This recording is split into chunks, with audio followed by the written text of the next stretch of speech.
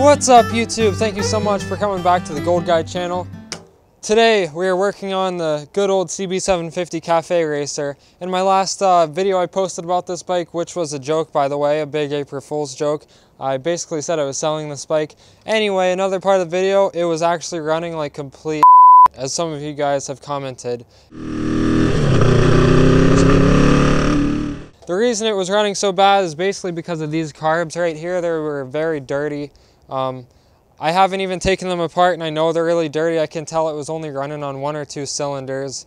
So basically in this video, I'm going to be showing you guys how to clean your carburetors in under an hour very quickly, very thoroughly. And I've done this so many times. I've done it probably five times on my Suzuki GS850 Scrambler. And there are four carbs on that bike, so I've done this probably about 30 times between both my bikes if you count each individual carburetor. So I know how to do this and I always say that you shouldn't be teaching someone how to do something unless you know how to do it yourself very well.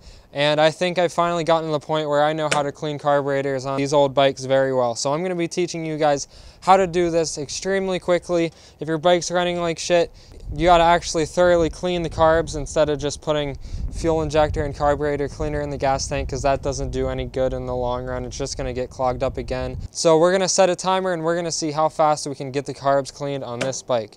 Thank you so much for coming back to the Gold Guy channel. If you haven't already, please subscribe. I'm trying to get to 30,000 by summer. I think we can do it, guys.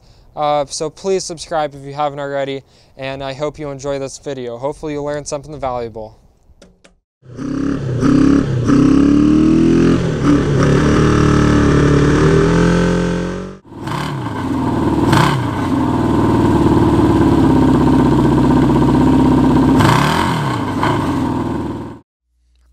Alright, so we've got the timer set, and first of all, you want to remove your air filters or air box, depending on what you've got. And once those are removed, you go ahead loosen up your intake manifolds, remove the throttle and choke cables, remove the fuel line and vacuum lines, all that stuff.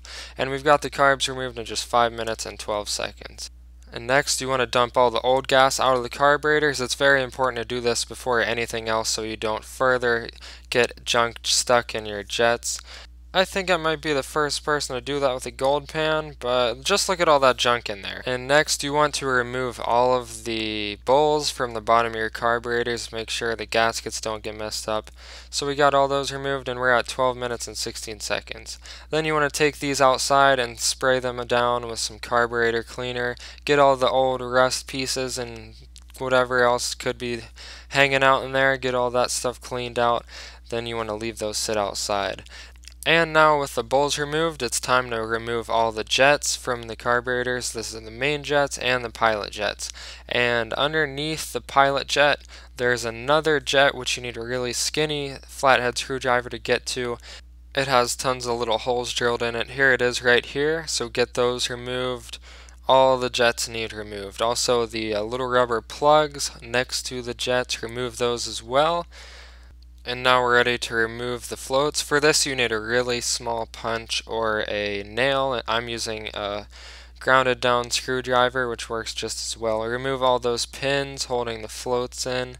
It shouldn't take much force. If it does then you're doing something wrong.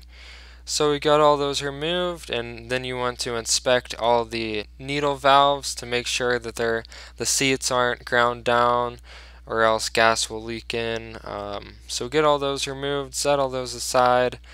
Also, you want to in inspect the floats to make sure they're not cracked or else they'll fill up with gas and they won't do their job properly. You can take your carburetors outside and spray them down very generously with some carburetor cleaner. Every hole on the carbs needs sprayed out. Make sure you all the old gas, all the gunks out of these carbs. And then you want to get the carburetor cleaner and spray it into the fuel inlet. And you want to watch to make sure gas is coming out of each of the carburetors or else you have a very bad clog which needs forced out further. And if the carburetor cleaner does not come out very easily, then you want to get a container with a nozzle, uh, pour some gas in it, and then put a piece of fuel line on it. Oh yeah, sweet And next up, probably the most important part of this whole job, you want to get a steel wire brush and yank one of the wires out. Then you want to run that through each jet. Make sure there's nothing left in the jet, no dirt, nothing. Get them all cleaned out, the pilot jets, the main jets, and then you can use a toothbrush to clean your bowls and carburetors out if they're still really dirty. And once you've broken up whatever was in the jets with a wire brush, you want to spray them all out with the carburetor cleaner. Make sure there's nothing left in those jets. They gotta be squeaky clean.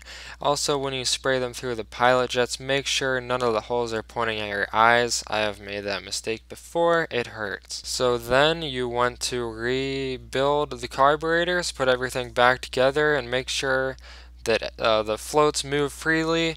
Make sure the gaskets are all put back in right before you tighten them down. And then we're pretty much done. And good job guys, now your carburetors are all clean, you can put everything back together.